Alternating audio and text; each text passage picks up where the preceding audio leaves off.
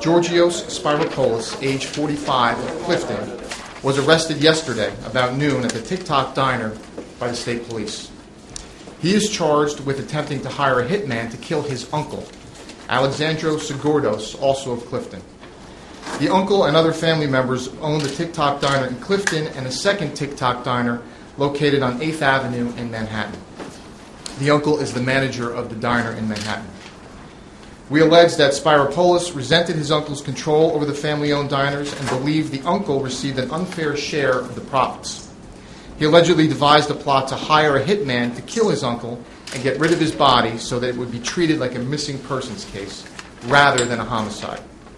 He also allegedly intended to steal a large sum of money he believed his uncle had locked in a safe. However, when Spyropoulos allegedly sought to help, help in finding an assassin to kill his uncle, the person he approached was, unbeknownst to him, an informant for the New Jersey State Police. This is sort of out of a script right in New Jersey where you're going to meet at the Tick Tock diner to rub out your uncle to advance yourself. Um, and so I understand that reaction of it, but from a law enforcement perspective, we're focused on the safety of the person who's the target. We're focused on the safety of his family, and we're focused on trying to do it as quickly as we can. It's a shock to hear it. It's a surprise to hear it. And uh, I feel bad for the entire family. They've been here for years.